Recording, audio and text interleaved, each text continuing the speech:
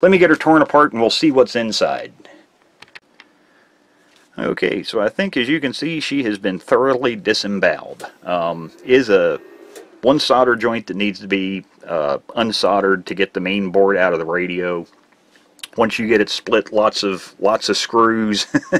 Once you get, but to get the back plate out, which has the circuit board screwed to it, you have to desolder the antenna connector so you can see how well it shows up. Everything's shiny but the terminal is bent up at 90 degrees and passes through the circuit board right here so you do have to desolder that one connection. Other than that you just have to take out all of the screws which there are a lot of them um, and you do have to take all of the nuts right there off of the top and then I'd taken the two screws out of this. I didn't actually need to do that because I don't need to remove the SMA connector.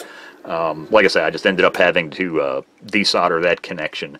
But uh, like I say, once you get that out, then you can take all the screws out that hold the circuit board down to this plate. Um, do need to take the heatsink off of the final transistor, or actually MOSFET, right there. That little cover has two screws go down through it. And then the other side goes down and actually makes contact with this. This is a nice heavy die-cast piece of metal here. So this is kind of like the inner interface between the front of the radio and the battery pack. Um, but this act, acts as your uh, heat sink. Um, and as you can see, everything is gasketed, you know, for weather resistance. Um, gaskets around everything here. Gaskets, you know, that piece, once you get this board reinstalled on here, that gasket assembly goes down on top. Um, the battery pack connector where it's screwed on here for the terminals for the battery connector. Um, again, gasketed. Everything's got gaskets on it. Gaskets, gaskets, gaskets. um, the uh, final here is, I got to hold it up here to look at the darn thing. It is a, no, remember it was a Renesas. It's a RQA0011. Uh, that's an N-channel MOSFET, and like I say, that's rated power is like 10, I think it was like 10.2 uh, dBm, so that's going to be over 10 watts. Um, the main brain, basically, of this entire thing, oh, one last thing on this side of the board. There is a battery, so, you know, at some point in the future, um, that is something that may need to be replaced, that battery. Um, but you don't have to remove this board to do that. This is on the side that once you get this, you know, this assembly separated from this, you can see the battery. So that would be replaceable without actually having to completely pull the circuit board. And I'm sure that's going to, that, that little battery there would last for years. They usually do. They, these uh, don't really require much, much uh, idle current. Um, but the, uh, the main brain of this unit is this quad flat pack right here. And actually that chip can be had in like four different conf configurations. It can be had in uh, you know, like BGA style. Like I say, this one here they're using a quad flat pack. Um, and that is a Kinetis uh, 512K flash. So it's a 120 megahertz ARM Cortex M4 based microcontroller with a FPU. So like I say, that's that's what does all the magic in this little guy. Um, does have an, a uh, flash memory right there. That's actually what that IC that's right up above from that. That's a, a WinBond 128 megabit uh, serial flash memory with a dual quad SPI and uh, QPI. But uh, yeah, really nice radio. The layout's nice. Construction. Um, I mean, they really did a good job on this. And my understanding, um, of course, Retevis didn't tell me this. I saw this online, but apparently um, this is theirs. You know, this is not a rebranded radio. Um, this HD1 radio was the you know R&D was done by them, manufacturing a whole lot nine yards. So you know they built this thing from the ground up basically. Um, a lot of times with a lot of this style radio, you'll see the same radio from like five different manufacturers, just a different name on the front of it. Um, like I say, Retevis is actually, they designed this thing from the ground up, so you know, this isn't, they didn't, it's not a rebranded radio that they're selling there. You know, they may rebrand, I'm sure, but uh, yeah, they're the actual designers of this radio. I'd have to give them a big thumbs up. They did a good job.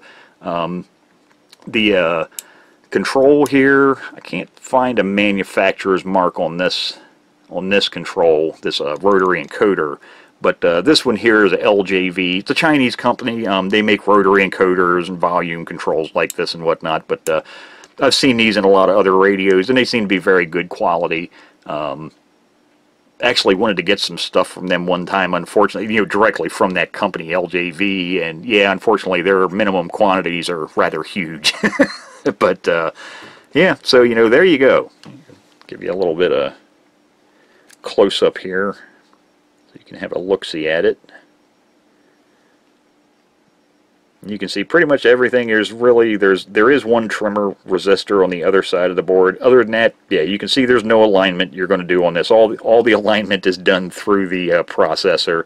Um, uses all fixed inductors, you know, and uh, transformers. So like actually like a lot of the President radios. You know, there there a lot of radios are starting to switch over to that uh, alignment through programming that's done at the factory.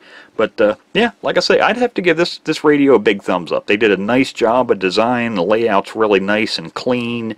Um, construction, man, I mean, just this piece. This is this is a large portion of the weight of this radio. Is this interface? You know, between this and the battery pack.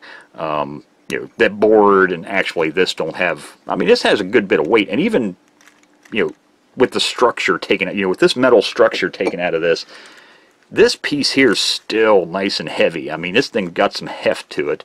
Um, actually, I'm just looking here. That must be the GPS antenna, I'm assuming, right there. Yeah, that's probably the GPS antenna because that comes down right here to this board. And that is, like I say, that's the GPS module. That's just a little window for the, the light there. The LED should be on this board then.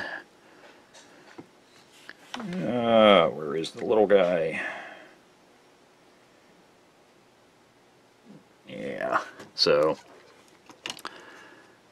yeah, flat flex cables. Uh, just be careful if you ever take something like this apart. Be careful with these things. Don't don't break them or the, uh, the the trays that they go into. But uh, yeah, like I say, I just man. There's just there's no flex in this thing, man. It's really really nice. Like I say, good good job. it's it's nice to see.